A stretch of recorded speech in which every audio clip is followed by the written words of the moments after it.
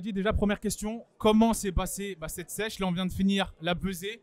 Qu'est-ce que tu as pu voir dans les yeux de ton adversaire? Comment est-ce que tu sens l'atmosphère? Alors euh, bonjour à vous. hein. Sachez que je me suis très bien préparé.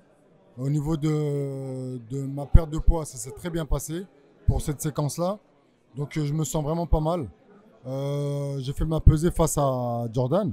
Bon, ça s'est très bien passé. hein. C'est un mec euh, très respectueux déjà de ce qu'on m'a dit auparavant.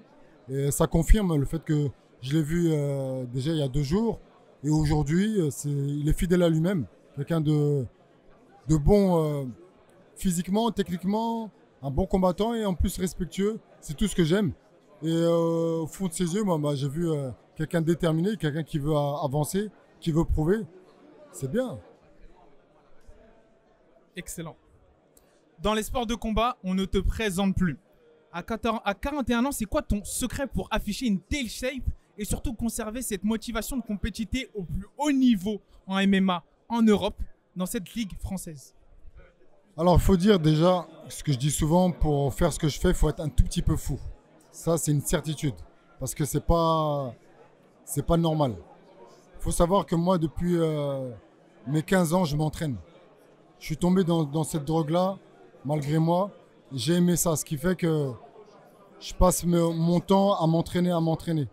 Alors pourquoi mes résultats en pied-point Voilà, le secret c'est je m'acharne à l'entraînement comme un fou et, euh, et on a tendance à, négliger les sacrifices. Moi je, je fais beaucoup de sacrifices pour ça et après ça paye. De toute façon quand on lâche rien et quand on est déterminé ça, ça paye tout le temps, je le dis souvent. Et voilà, maintenant je suis là en MMA, nouveau challenge, déterminé, parce que je ne combats pas en MMA pour, pour dire que je combats. hein. Non, au contraire. Je veux vraiment prouver et montrer que avec détermination et la volonté, on arrive à, à faire des choses pas mal. L'expérience est bien évidemment de ton côté en termes de striking et même au niveau du palmarès pro. Est-ce que selon toi, c'est cet écart d'expérience qui fera la différence demain soir dans ta confrontation face au jeune et dangereux Jordan Zebo? Alors, euh, oui, euh, concrètement, euh, mon expérience va jouer, un rôle très important. Ça, c'est une certitude. Mais il faut savoir qu'on est en MMA. Donc, tout doit être adapté en MMA. Donc, il faut, aussi- noter que Jordan est pour moi euh, un pro en MMA au-dessus de moi. Techniquement, il n'y a rien à dire. Donc, euh, c'est un bon challenge pour moi. Une étape importante parce qu'il faut que je passe cette étape-là.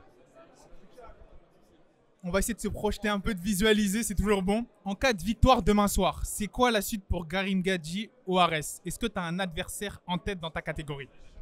Alors, en cas de victoire, bah, c'est de continuer à, gravir les échelons, comme tout euh, combattant professionnel. Mais moi, j'ai un adversaire que déjà je devais affronter, euh, qui, euh, qui malheureusement s'est désisté parce qu'apparemment il aurait attrapé le Covid. Donc, si je pouvais faire ce combat-là bah, très prochainement, ça serait sympa. C'est Murtel Gra- Groenhart. Voilà. Tu as déjà fini des combats par soumission, notamment étranglement arrière. Est-ce que tu appréhendes le jeu au sol de ton adversaire? Est-ce que c'est un aspect sur lequel tu as un peu plus travaillé que d'habitude? Exactement, j'ai énormément travaillé au sol. Travaillé toutes les techniques, euh, que ce soit lutte, mais beaucoup de grappling, énormément. Et euh, c'est ce que m'avait peut-être un peu manqué au, combat précédent. Mais là, avec euh, l'équipe qui est présente, ma team, on a fait le nécessaire pour pouvoir être le plus performant au travail au sol. Un dernier message pour les fans, à quoi peut-on s'attendre demain?